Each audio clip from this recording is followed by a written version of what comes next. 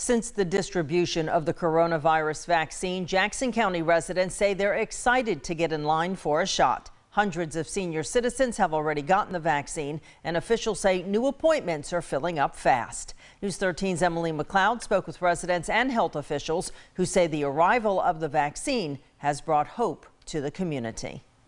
We are thrilled to be able to administer this vaccine. T.G. Harkrider is the Director of Environmental Safety for the Florida Department of Health in Jackson County.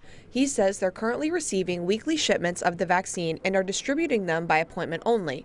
He says being able to reach this point in the pandemic is a blessing. We, it's, it's a historical event, you know, to see the emergence of a, of a disease, to go through the testing process, the, you know, the, the vaccine formulation, and actually to be a part of the administration of it. It's, it's, uh, it's a privilege to be a part of it.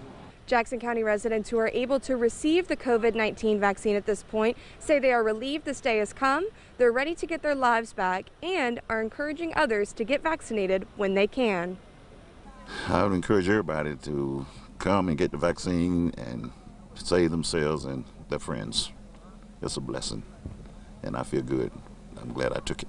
Other residents, like Isaiah Morgan, say they're thankful to receive the vaccine as quickly as they did. I just feel very thankful, you know, that the vaccine could be rolled out early, or at least that's how we feel about it. And we're just, we're thankful for all the people in politics as well as working out here to give it to us. I, I don't have the wherewithal to fight, you know, uh, so it's, it's invaluable that I'm getting uh, protection and uh, it makes me happy to be this close.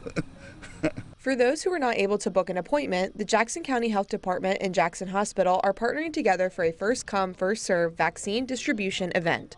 In Marianna, Emily McLeod, News 13, Panhandle Strong.